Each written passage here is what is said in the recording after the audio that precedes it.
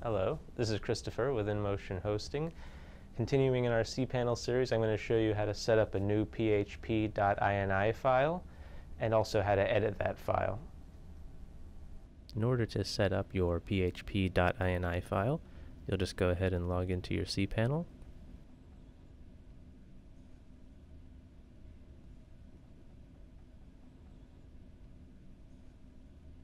Go to the file manager first to make sure you don't already have a php.ini file.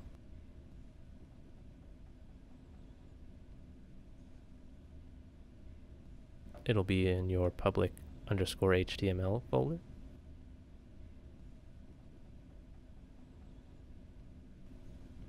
And you see here I do not have a php.ini file. So now you can close the file manager. Back in your cPanel homepage, scroll down to the software section. You'll now see the PHP configuration option. We sometimes call this the PHP switcher. It does not come standard with a VPS or dedicated hosting account, but if you would like one installed, just contact support or submit a ticket requesting the PHP switcher. You'll see the current version of PHP that I'm using is 5.3. If I switch the version or just click update on my current version, it will generate a new php.ini file in my public underscore HTML folder. So I'll just click update. And then you can go back and go to your cPanel homepage. Click on the file manager again. Go to public underscore HTML. And you'll see I have a new php.ini file. I'm going to go ahead and edit the file just to demonstrate how you can make changes to it. With the file selected, you can go up to the header portion here and click Code Editor.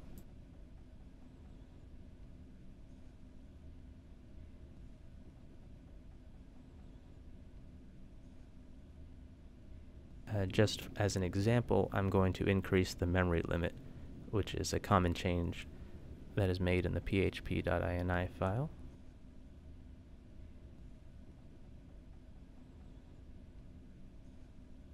The memory limit is set at 512 right now. I'll just change it to 1000.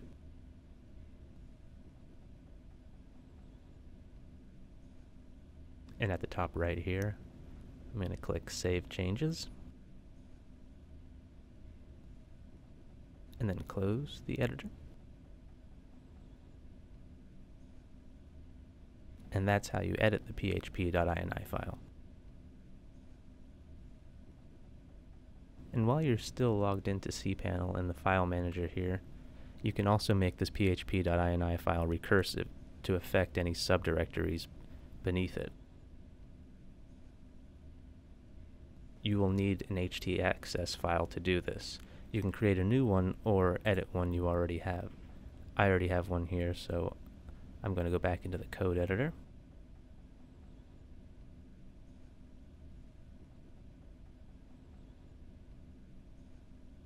and this is the line here which will make the PHP ini file recursive.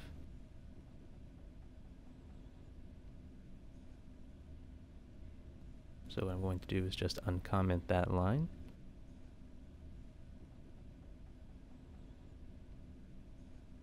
You'll see it has listed here a path to the php.ini file.